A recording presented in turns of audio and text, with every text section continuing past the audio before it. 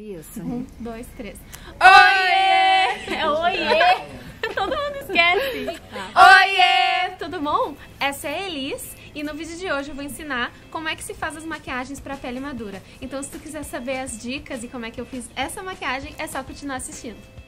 Então eu comecei a pele Delis com um tônico. Isso vai ajudar muito a pele madura a se preparar para a maquiagem. Vale dizer que pele madura é considerada acima dos 50 anos.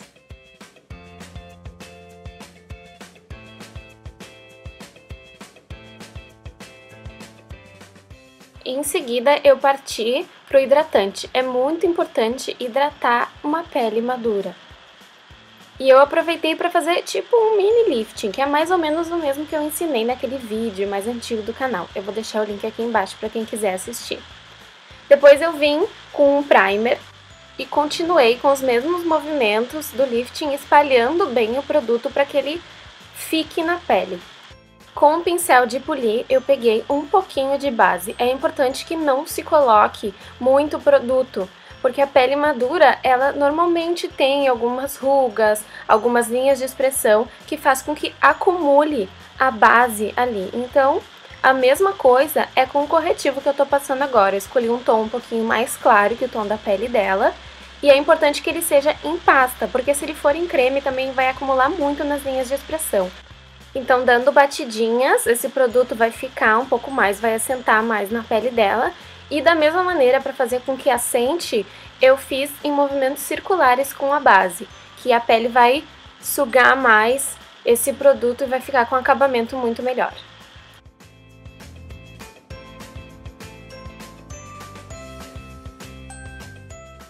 Em seguida eu vim com pó, é importante que ele não seja compacto. Como a Elisa ainda não tinha 50 anos, foi tranquilo eu conseguir usar esse produto. Mas é interessante que o pó seja mais soltinho e que ele fique concentrado somente mesmo na zona T. Logo em seguida eu preenchi as sobrancelhas, da mesma maneira que eu já ensinei aqui uma vez no canal, e o vídeo também vai estar aqui embaixo linkado para quem quiser assistir.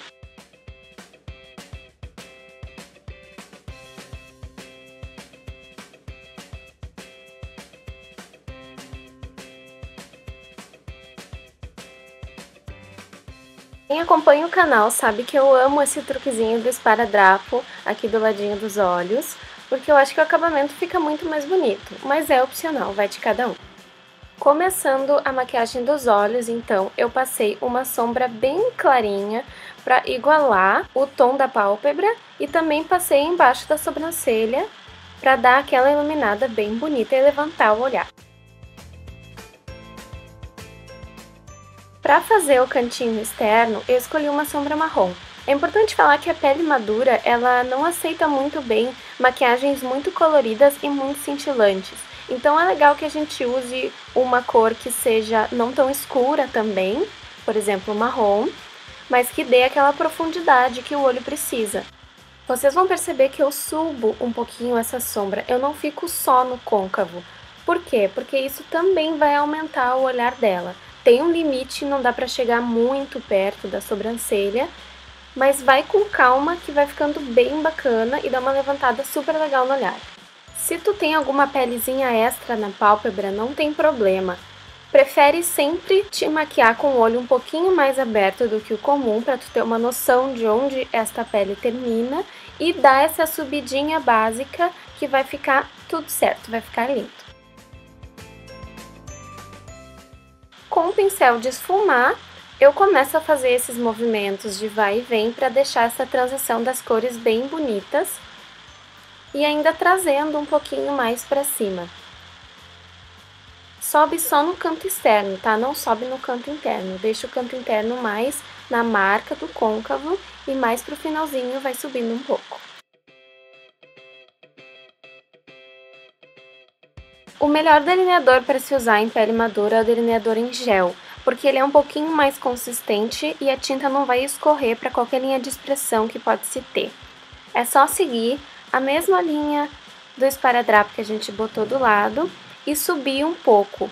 Tudo bem que tem gente que não gosta de fazer muito puxado, mas é interessante subir um pouquinho para levantar o olhar.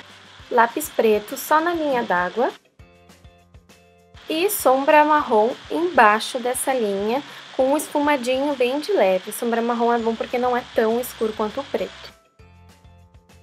Logo depois eu vou contornar o rosto dela, tanto aqui embaixo das bochechas quanto na testa. Se tiver papada também dá pra contornar na papada e também afinei o nariz. Eu adoro fazer isso em pele madura.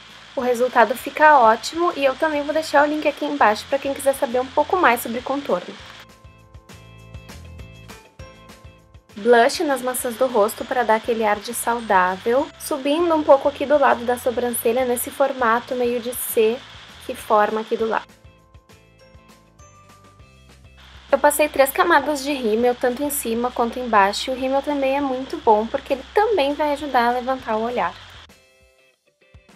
Lápis em torno da boca, da mesma cor do batom.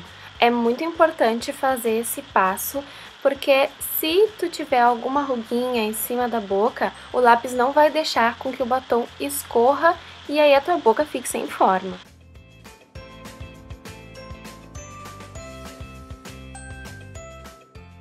Nós escolhemos batom nude mesmo, porque ainda era dia, mas qualquer cor de batom vale. Se quiser usar um gloss também não tem problema, ele aumenta até a boca, mas toma cuidado para não passar da linha do lápis, que daí ele não vai escorrer.